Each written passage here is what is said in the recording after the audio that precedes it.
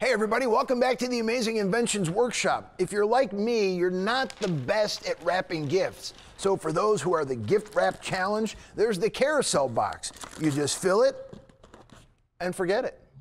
This week, Amazing Inventions travels to Charleston, West Virginia, where inventors Gary and Donna Allman put their heads together to come up with a perfect solution for boring boxes and plain presents. It's called the Carousel Box, and Donna originally designed it from scratch to hold gourmet tea bags.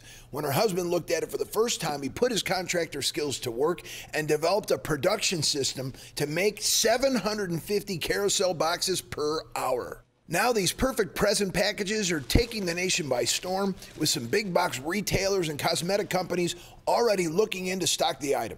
Look for the carousel boxes in a store near you sometime soon. If you've got a great idea or invention, let us know all about it at amazinginventions.com. Imagine that a gift box that actually gift wraps itself. That's pretty amazing.